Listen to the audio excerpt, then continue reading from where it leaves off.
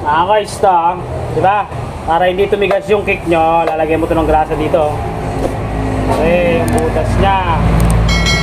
Ito yun, oh. Yan, di ba? May washer yan. Yan, oh. Yung washer na to, guys, dito nakalagay, oh. Dito sa butas na to. Turuan ko kayo para magbalik dito. Tinanggal ko kasi lalagyan ko ng grasa. Lagyan mo ng konting grasa mga boys, oh. Try yung loob niya, oh, yan, oh.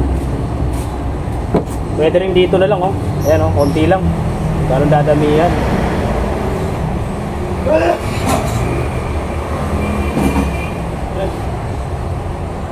Eh, bili ka. Eh, sabi mo, hiniram ko 10 piso dyan kay Kulot. Para dyan.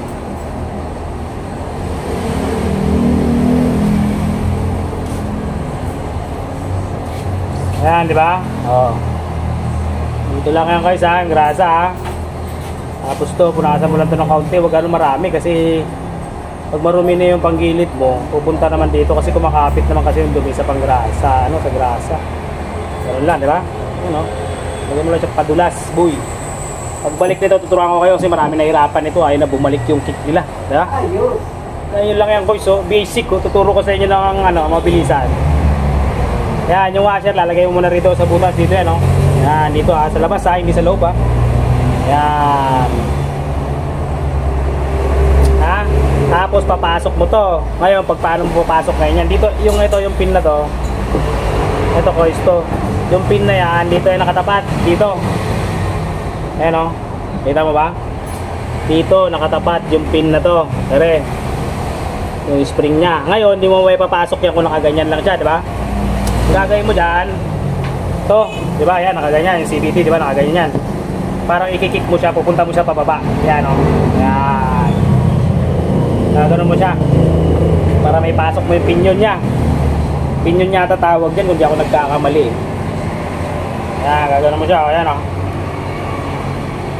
yan, kumbaga pinihit mo siya pababa, yan, o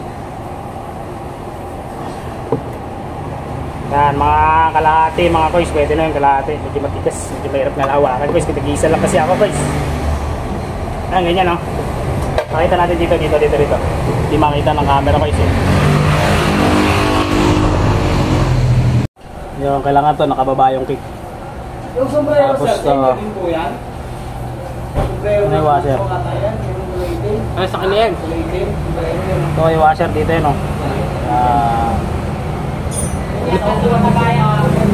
tapos to, nakatapat dito. Sa dalawa na to. Ah, Sa kanila yan eh. Sa kanila yun. Ha? Sa kanila. yan, dapat may ngipin niya. Tapos yan naman lang. Teka lang, teka lang, teka lang. Hawak ng bata ang kahapon eh.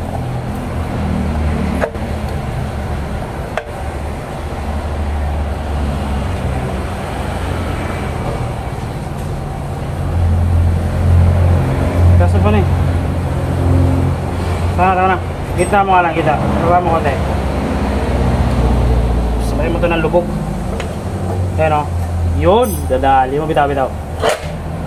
Diba? Pumasok na, diba? Ganun lang. Pag mag-ano ka, bababa mo lang to. Diba? Okay na, diba? Ganun lang, kuys, oh. Lumabas. Lalabas talaga siya, wala pa yan dun eh. Siyempre, sinagad mo eh. Ulit, ulit, ulit, ganun lang guys ha. Mama, mama. Ang tuwa si Nonoy ko, isa loko-loko. Ang tuwa yung loko-loko. oh. Kaya lang guys ha. Ha, baba natin, ulitin mo lang, kaya mo. Eh, sagad, sagad mo. Yan, yung washer ha, huwag mo kakalimutan, dapat nandito ha.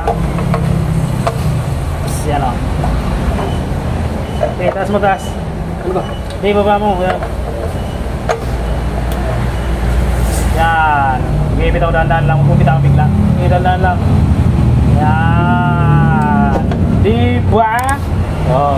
Tapos, huwag mo siyang gagalawin kasi angat nga pala ito. Kailangan nakatama na pala ito. Nakatikit na sa crankcase. Diba? Yun lang. Shoutout kay Buknoy yung. Ang mamaw ng Marasokoro. Magaling maglaro basketball yan. Oo, pag naglimahan kayo, may dala sariling bola yan. Hindi mo maagawan kasi kanya yung bola na yun eh.